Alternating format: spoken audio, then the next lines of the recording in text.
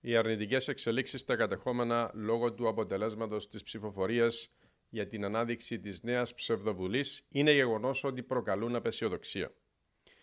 Υπήρξε μεγάλο ποσοστό αποχής και μείωση των ποσοστών εκείνων των δυνάμεων που τάσσονται υπέρ της λύσης και της επανένωσης. Αυτό αποτελεί πλήγμα στις προσπάθειες για μια αμοιβαία αποδεκτή λύση.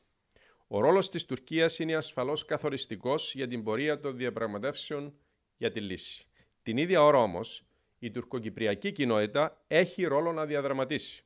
Αυτός που χειρίζεται το Κυπριακό, μην ξεχνούμε, είναι ο τουρκοκύπριος ηγέτης Μουσταφά Ακιντζή.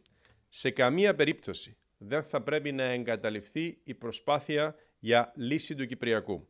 Αντίθετα, θα πρέπει τάχιστα να επαναρχίσουν οι διαπραγματεύσεις αμέσως μετά τις προεδρικές εκλογές από το σημείο που διακόπηκαν στο Κράνς Μοντανά και να αξιοποιηθεί το σύνολο του υλικού που προέγεψε από τις διαπραγματεύσεις. Αυτό είναι που ζητά και ο Γενικός Γραμματέας του Οργανισμού Ηνωμένων Εθνών και αυτή θα πρέπει και να είναι και η δική μας απάντηση στις αρνητικές εξελίξεις στα κατεχόμενα.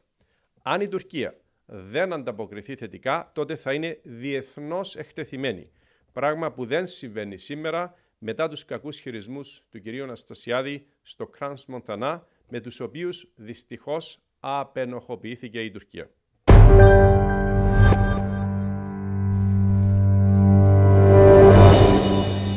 Μας ενώνει το αύριο. Σταύρος Μαλάς.